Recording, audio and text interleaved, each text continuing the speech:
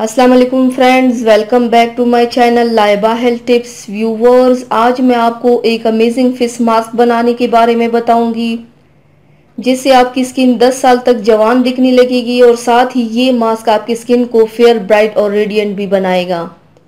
इस मास्क की regular application से आपकी स्किन से रिंकल्स और फाइन लाइन्स चले जाएँगे और आपकी स्किन हमेशा के लिए फेयर और यंगर लुकिंग बनेगी।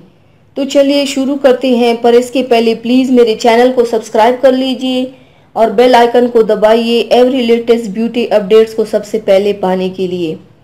इसको बनाने के लिए पैन में तीन चम्मच चावल का आटा लीजिए, फिर इसमें थोड़ा सा पानी ऐड करके इसे मिक्स कर लीजिए।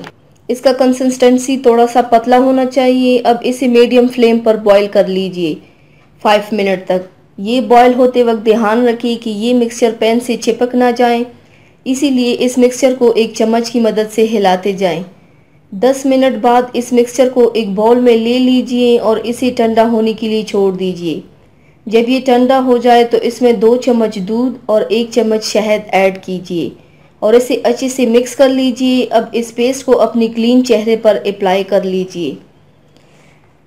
राइस फ्लोर में वाफर मकदार में एंटीऑक्सीडेंट पाया जाता है, जो स्किन की एजेंट प्रोसेस को स्लो डाउन करता है और रिंकल्स और फाइन लाइंस को आने नहीं देता है। और साथ ही ये स्किन कम्प्लेक्शन को ब्राइटन और ग्लोइंग भी बनाता है। इसे अप्लाई करके ड्राई होने के लिए छोड़ दीजिए। जब ड्राई हो जाए, तब इसे पानी से धो लीजिए। अगर आप इस मास्क को हफ़्ते में तीन से चार बार अप्लाई करेंगे तो आपको अमेजिंग रिज़ल्ट मिलेगा। ऐसे ही एक महीने तक मुसलसल अप्लाई करने से आपका स्किन पहले से बहुत ज़्यादा फेयर ग्लोइंग ब्राइट और यंगर लुकिंग बनेगा इनशाला तो व्यूवर्स थैंक्स फॉर वॉचिंग मेरी वीडियो को लाइक और शेयर ज़रूर कीजिएगा। मिलते हैं एक और नई वीडियो में।